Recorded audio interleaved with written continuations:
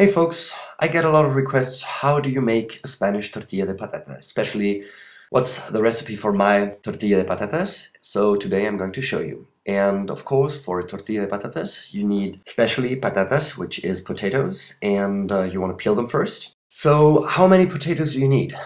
Now here's a little trick. You just keep adding potatoes to your pan until your pan is full. For the cooking itself, you will need some olive oil and don't be cheap with olive oil. It gives a lot of good taste to your tortilla, so add quite a bit.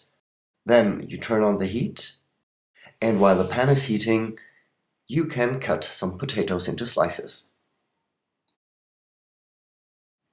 I like my potatoes to be thick enough so you can bite into them. You don't want to have them too thick because then it takes too long to cook them. But um, like this. They're just fine. Now you can add the potatoes to the pan and turn down the heat a bit. Now while I'm frying the potatoes, I'm going to cut some onions and uh, for this quantity of potatoes I will cut two onions. The onions add a little bit of sweetness to the tortilla and uh, so it depends on how you like it best. Uh, if you want to add many or not so many onions.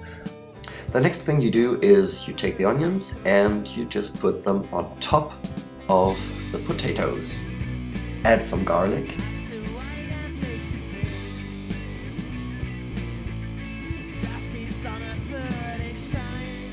And then I cover it all. Now here come the eggs. I'm going to use six eggs and I'm going to add some red pepper then black pepper, and of course salt.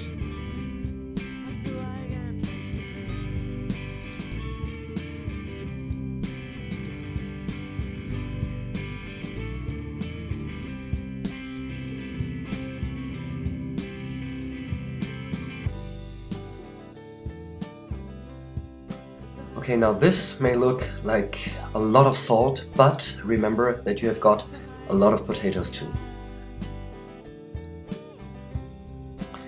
Now the next thing will do magic to your tortilla. First of all, you have to check if the potatoes are ready. And then you put them into the eggs. And you don't do it the other way around. It's very important have to mix the potatoes and the eggs like this. And here you go. Now after a while, you're going to see that the eggs have become a bit thicker. And then you take a big plate, put it on top, and you turn the whole thing around because you want to fry the tortilla from both sides.